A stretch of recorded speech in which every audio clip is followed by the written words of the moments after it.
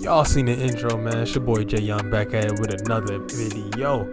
Now, I feel like I might have made one of the most dominant big men in 2K. Now, y'all see Jay Young, center, right-handed. We, well, you don't. It don't really matter what hand you want to make or whatever. I'm gonna go ahead and get right into the build. Your boy is seven foot, 255 pounds, seven foot seven wingspan. I had him be defined. I don't want to be too big, you know what I'm saying? But your boy was looking more towards like a Wilt type of build, but uh, you know, he's, he's kind of his own player because at the same time, Wilt had no free throw whatsoever. He was shooting like 44% from the free throw line or something crazy like that one season.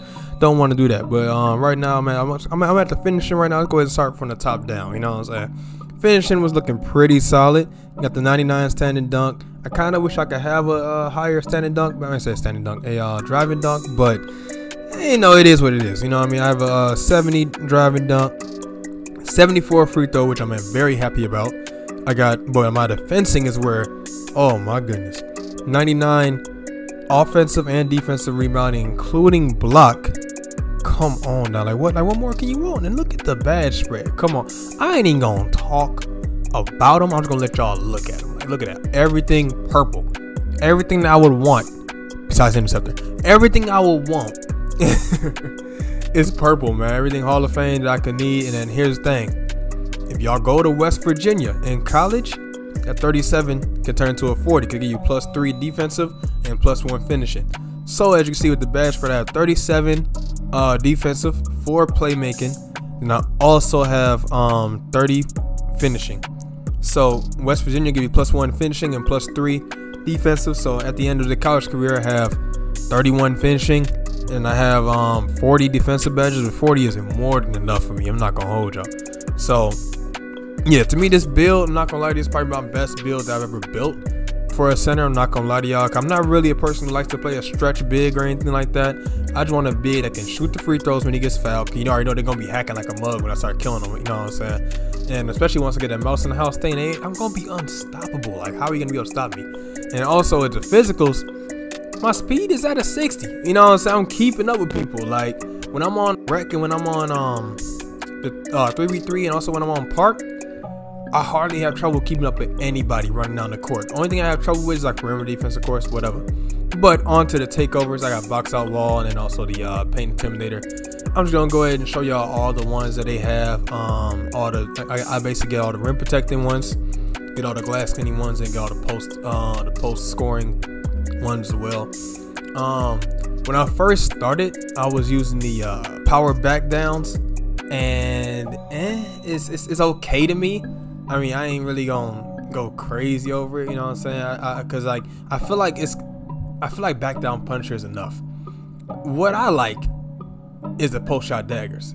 I be hitting hook shots like crazy, and then I also want to paint intimidation because again, Rim Protector Hall of Fame or Rim Protector you on gold, you'll be blocking stuff like crazy. So yeah, there it is, man. Um, that's basically my whole build. You know what I'm saying? Then uh, let's go ahead and see the comparisons. As y'all can see, I made a paint beast, which is probably pretty obvious, but comparison to Kevin Mutombo, Clint Capela, and Rudy Gobert. I'm not gonna hold you. I feel like it's more like kind of like a Wilt build. Um, I was thinking more like a Shaq build, but he's a little bigger. You know what I'm saying? But at the same time, I guess I guess you could call it a Shaq build as well, because of the way he was to run on the floor and everything. Because Wilt was probably a little faster. Not gonna hold you. Well, not even little. He was probably a lot faster, and was a physical specimen. But yeah, uh, let me know what y'all think about this build in the comment section, man. Let me know if y'all want to um see more of this uh, build as well. And uh, also, real quick, I wanted to show y'all like where I'm at right now. Right now, again, all the clips that you have seen and are going to see after this is me at like an 85. Right now, I'm at an 87, which I'm showing y'all right now. I'm at an 87 overall. So it's not like I'm like a 99 doing this to people. You know what I'm saying? I, and I can't wait to get a lot more gameplay out because I barely even been playing with him. But I'm not gonna lie to you, this dude is just a monster, man. Plus, a lot of people are making these six nine versatile paint beast stretch bigs, uh, bigs or whatever. Look, I'm not gonna hold you. You'll see it in, uh, in, uh, in a clip. You're able to lock them down pretty easily. Now, granted, I'm pretty sure probably some comp ones that probably know how to get around or whatever, but not gonna hold you. Versatile paint beast I've gone against, I've been hanging right with them. So it's like you make a person seven foot, able to keep up with them, and then when they get to the paint, able to dominate them. So if you made it this far into the video, I want to thank you so much for watching it, man. Thank you for giving giving this a chance, man. Go ahead and try this build out. You want to make some tweaks to it, go ahead. You know, you ain't got to make it, you know, I almost say word for word, but you know, attribute to attribute basically. But yeah, uh, do me a favor, go ahead hit that subscribe button. Go ahead hit that bell for notification about when I'm going to be uh, posting any more videos as well.